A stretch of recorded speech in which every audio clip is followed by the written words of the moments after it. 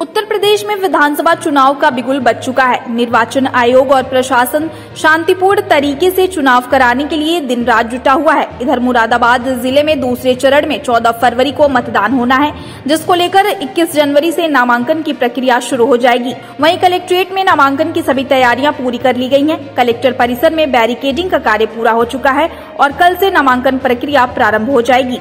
Police और प्रशासनिक अधिकारियों ने आज कलेक्ट्रेट परिसर में नामांकन की तैयारियों का जायजा लिया। इस दौरान एडीएम सिटी आलोक कुमार ने कहा कि नामांकन कराने के लिए प्रत्याशी के साथ सिर्फ़ दो लोग ही आ सकेंगे। प्रत्याशी के साथ उनके वाहन को नहीं आने दिया जाएगा, जिसके लिए बैरिकेडिंग का काम पूरा हो चुका है। उन्होंने कहा कि इक्कीस जनवरी से नामांकन प्रक्रिया शुरू हो जाएगी, जो कि सुबह 11 बजे से 3 बजे तक चलेगी, जिसकी कलेक्ट्रेट परिसर में सभी तैयारियाँ पूरी हो चुकी हैं। अभी पिछले दिनों हम लोगों ने विज़िट किया था और जहाँ जहाँ बैरिकेटिंग की कुछ जगहें हम लोगों ने तय की थी कि कहाँ कहाँ बैरिकेटिंग होगी क्योंकि वन प्लस टू लोगों को ही आना है।